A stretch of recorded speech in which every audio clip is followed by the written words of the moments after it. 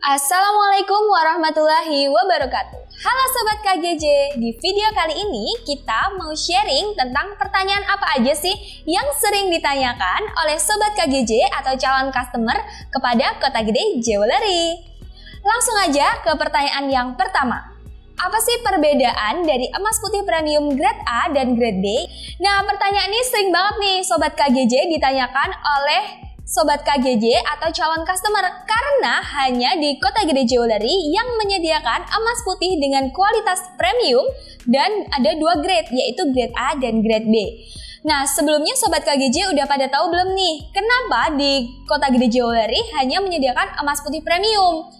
Dan kenapa disebutnya emas putih premium? Jadi, untuk emas putih di Kota Gede Jewelry itu basicnya menggunakan emas kunting antam yang sudah bersertifikasi batan dengan campuran bahan logam mulia palladium.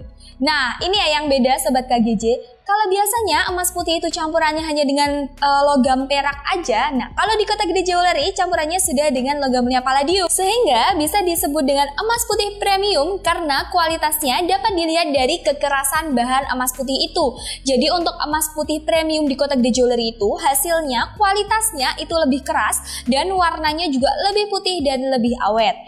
Lalu untuk perbedaan emas putih premium grade A dan grade B itu apa sih? Nah, jadi perbedaannya adalah di kandungan palladiumnya, sobat KGJ. Nah, untuk emas putih premium grade A, kandungan palladiumnya lebih banyak daripada yang grade B. Sehingga untuk emas putih grade A menghasilkan kualitas bahan yang lebih keras daripada yang grade B dan untuk warnanya juga lebih tahan lama atau long lasting. Nah, jadi itu tadi ya Sobat KGJ untuk penjelasan dari pertanyaan yang sering ditanyakan oleh Sobat KGJ atau calon customer kepada Kota Gede Jewelry.